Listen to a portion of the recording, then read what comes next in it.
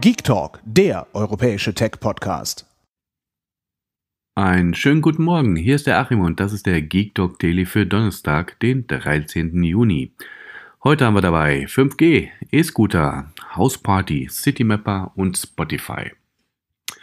Beginnen tun wir mit der großen Nachricht von gestern, die 5G-Frequenzauktion ist vorbei.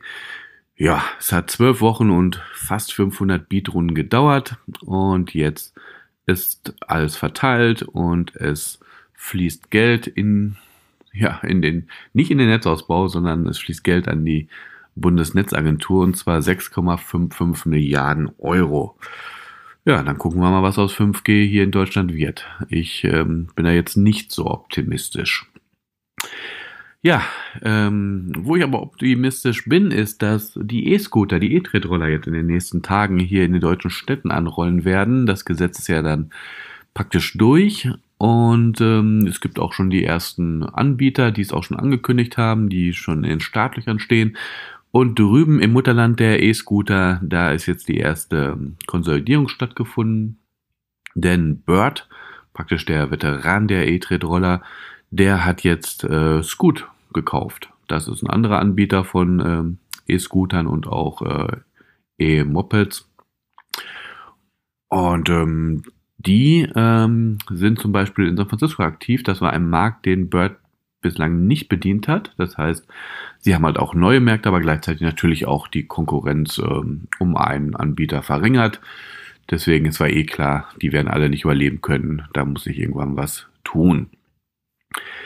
Ja, nächstes Thema. Epic Games. Das sind die Macher von Fortnite. Die haben jetzt eingekauft. Was haben die eingekauft? Ja, nicht ein anderes Gaming-Studio oder was man erwarten würde, sondern die haben Hausparty gekauft.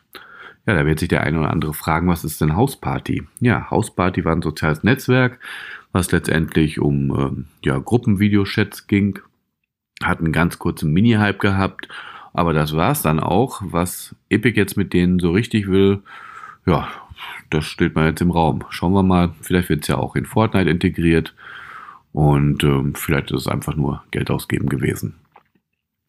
Nächstes Thema, auch eine Sache, die die wenigsten kennen. Ähm, Citymapper ist eine sehr beliebte App, die der Martin und ich ja sehr schätzen, um von A nach B zu kommen. Die werden vielleicht einige von euch kennen, aber ja, die wenigsten werden wissen, dass Citymapper auch mal eine Busroute in London hatte.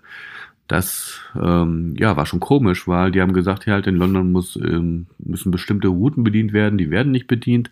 Und dann haben sie eigene Busse fahren lassen.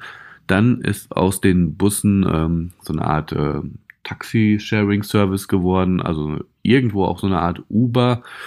Und das Ganze hieß mal ursprünglich Smarbus, dann hieß es Smart Ride und dann hieß es Citymapper Ride.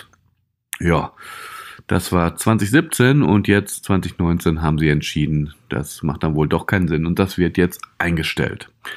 Ja, schade. Ähm, ich wäre neugierig gewesen, mir das mal anzuschauen. Ich habe das eigentlich gar nicht gewusst, obwohl ich ein paar Mal in London war. Ähm, ja, also Citymapper ist weiterhin nur noch die App und nicht mehr ein eigener Fahrtdienstleister.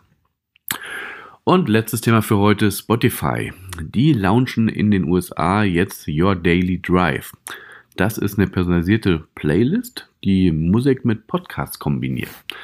Das ist die eigene Musik, die man so favorisiert hat, ein paar neue Tracks, ähm, die man da reinschiebt, die man aufgrund der, aufgrund der alten ja, Likes ähm, von Spotify vorgeschlagen bekommt und dann werden da Podcasts zwischengeschoben. Aber so eher ein News-Podcast, und dann hat man praktisch einen eigenen kleinen Radiosender, mit der, mit dem man halt seine Daily Commute machen kann, also wenn man morgens zur Arbeit fährt.